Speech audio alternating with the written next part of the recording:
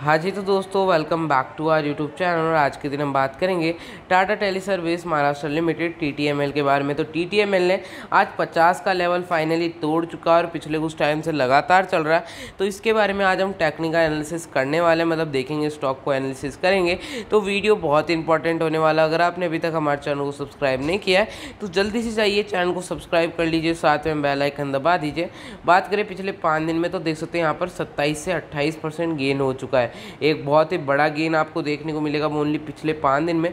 आप जानते हैं टाटा इस ग्रुप से बिलोंग करता है और टाटा ग्रुप के सभी स्टॉक अभी भाग रहे हैं। चाहे वो टाटा स्टील हो टाटा मोटर्स हो या टाटा पावर अगर देखा जाए महीने भर का तो यहाँ पर देख सकते हैं फोर्टी जंप आ चुका है।